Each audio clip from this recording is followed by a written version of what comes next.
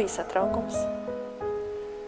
Mazliet nokavēja intervijas sākumu. Tas satrauc vēl vairāk. Tad man nebija elpas, jo skriet augšā sešas stāvus. Tas paņem spēkus. Tiklīdz uzzināju, es paskatījos, kāds ir prasības, paskatījos vidēju atzīmi, kas tobrīd bija 10,0 un sapratu, ka nu, man tā kā visi kriteriji izpildās. Tur laikam bija arī vajadzīga aktīva darbība studentu organizācijās. Nebija nekādas īpašas sajūtas. Bija prieks vienkārši, kad ir saņemta stipendija, nu, kad es tagad varēšu nestrādāt, veltīt laiku studijām, lasīt grāmatas. Materiālais atbalsts bija nozīmīgs, bet man īstenībā bija arī ļoti nozīmīgi, ka tā vienkārši bija ļoti prestiža stipendija. Un pat viņai piesakoties, man sākumā bija tāda liela doma, ka es vispār nepieteikšos, jo vienīgie divi cilvēki, ko es zināju, kas ir saņēmuši šo stipendiju, bija tiešām ļoti izcili cilvēki. Pirms studijām universitātē es studēju saucamajos Zviedros. Sapratu, ka tā nav mana vieta, un tad pilnīgi, pilnīgi, pilnīgas nejaušības ceļā nonācu šeit, un tad vienā brīdī vienkārši saprotu, ka te ir tava vieta. Un tā ar, ar kaulu sajūti. Tad pati mēdzu iesmaidīt, ka gūstu pedagoģisko praksi, palīdzot bakalaura studentiem, ja pat sākas pirmie deadline, kas viņiem tāds liels, liels piedzīvojums, man savukārt nu, izdzīvota lieta, bet joprojām sirds lieta. Un, un ja es varu ne tikai gūt zināšanas, bet viņās arī dalīties. Un, un, un ja ta, kas, tas kādam noder, ja kāds pēc tam pie manis atnāk, ar, nu, saka, ka, zini, izrādās, ka tas ir interesanti, tad nu, ir kaut kāda tāda mazliet izpildītas misijas apziņa. Nav jēgas no tā, ka tu kaut ko zini, ja tu to turi pie sevis. Ja tu to atdod tālāk, tad tev pašam ir laba sajūta Nu, tāpēc, ka kādam tas iespējams noder un ir vajadzīgs, tas nozīmē, ka tas, ko tu pats dari pētniecībā, vienkārši lasi vienalga, tas nav bezjēdzīgi. Nu, kā tas, ka nu, tā ir iespēja dot, un tā ir iespēja atdot tālāk to, ko tu esi dabūjis universitātē. Cik tas būs no manis atkarīgs, es būšu profesors šajā universitātē. Kas ir Kirillis? Ui, tas ir priekš manis tas ir garš stāsts. Tas sākās jau pirmajā vidusskolā, kad es dzirdēju kaut kādas leģendas, un tad tur bija kaut kādās lapās aprakstīt, ka viņš ir Čaks Norris, kaut kas tāds. Jā, nu šovasar es pabeidzu maģistrantūru, un tad man uzreiz atnāca vairāk piedāvājumu. Viens no tiem bija šis te piedāvājums strādāt Google. Man atnāca e-pasts no Stīvena, un nu, mēs ar viņu parunājāmies. Mums bija trīs telefona intervijas, tad man uzaicināja uz vietas, uz intervijām. Tur gan pa vidu bija neliela aizķeršanās. Pēc telefona intervijām nu, mēs vienojāmies, ka ja es iešu strādāt, viņi man paņems, tad es labprāt strādātu Cīrihē. Bet uh, beigās Google pateica, ka ne, Cīrihē tomēr eh, vēl komanda netiek veidota un pagaidām var piedāvāt Londonu. Nu, es joku pēc piekritu, aizbraucu uz Londonu uz interviju, piedalījos uh, piecās intervijās. Nu, un tad gal galā pirmās četras bija ļoti labas, piektā bija stipra tehniska, nu, tāda, ko normāls manas jomas speciālists no galvas nezina, netur galvā. Un uh, nebija pabrīdināts, ka būs šī tēma.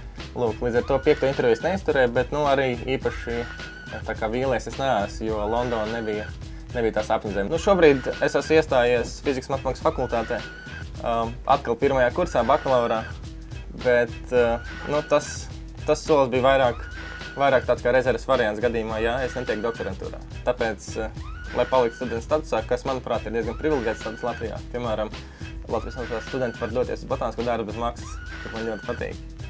Um, tad, tad es studēju tur, jā, un es arī apmeklēju lekcijas.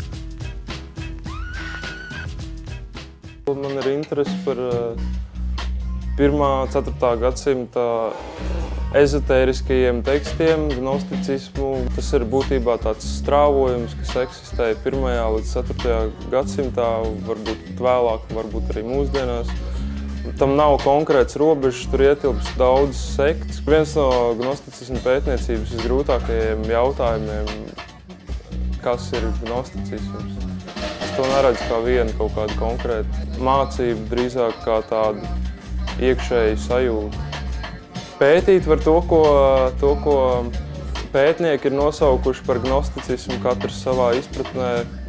Un pētīt var šos, nu visbiežāk tad Tā ir pētniecība, kas attiecās uz kristīgajām herēzēm, uz herētiķiem, maldu mācībām, maldu mācītājiem, maldu skolotājiem. Es, es nezinu, cik es esmu tālu, es nezinu, kur ir tā robeža, es neatceros, cik es, kur ir sākums. Es noteikti zinu vairāk nekā vidusmēra latvietis. Nu, es vienkārši lēnām kaut ko pašu interesē lasu un katru reizi jau kaut ko jaunu. Grāmatas nopērk, katra grāmata varbūt tur atkārtojas daudzas lietas, bet katrs pētnieks to parāda tādā savā izpratnē. Nu, tāds, tāda fantāzija man ir izdot grāmatu par Valentīnu teoloģiju. Valentīns bija viens no šiem kristīgi gnostiskajiem herētiķiem.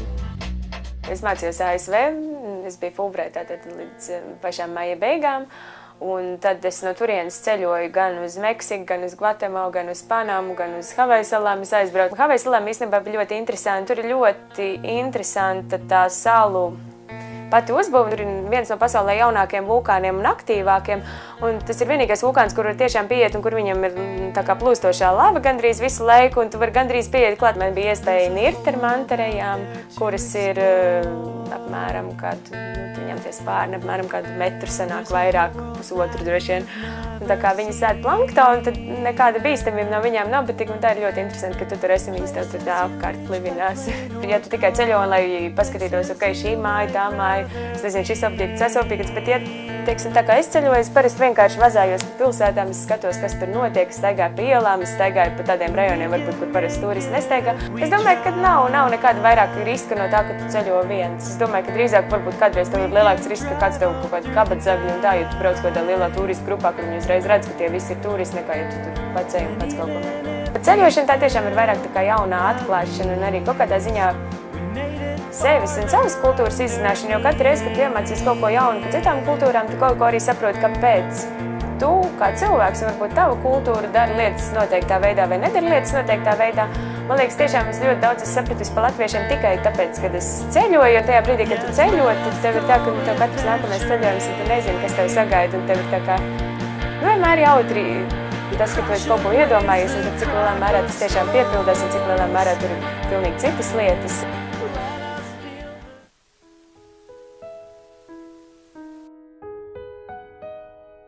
Savā ziņā, man liekas, tā ir tāda jauno līderu programma. To atšķirība, ka nevis jaunos līderus savāc uz divām nedēļām, viņiem iestāst, ka viņi ir līderi, bet drīzāk ļauj attīstīties tiem cilvēkiem, kas kaut kādā ziņā sajūt to, ka viņi varētu izdarīt vairāk nekā citi. Tas, kas būtu vajadzīgs, droši vien ir, kad pēc tam, kad saņem stipendiju, tu arī izmanto viņu kaut kam liederīgam. Domāju, ka viņiem ir jābūt sabiedriski aktīviem, viņiem jābūt ar kaut kādu tādu savu interesantu lietu un savu domu, un kāpēc viņi teiksim, dara tās lietas, ko viņi dara. Stipendijātam ir uh, atbildība to visu arī nest sabiedrībā, jo, nu, kā es to uztveru, tas arī ir tas mērķis.